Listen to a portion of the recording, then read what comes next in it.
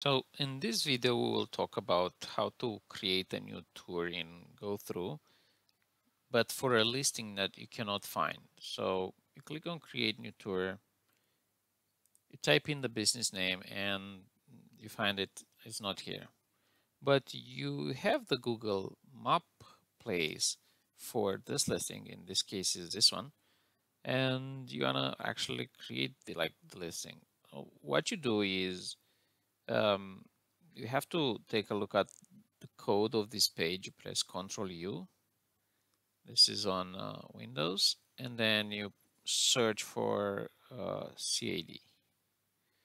And usually, the third one, um, like here, like usually is the third one, but in this case, I see the fourth one. You have the CID like this.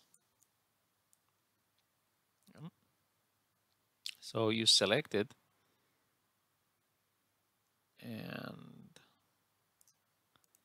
and this is this is an extra step it's not necessary if you already know the CID and then you go here and you put the hashtag in front then the CID and then you click create new tour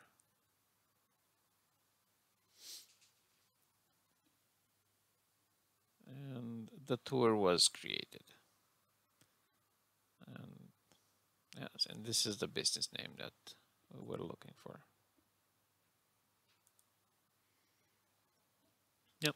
So it's really easy creating a new tour using the CID.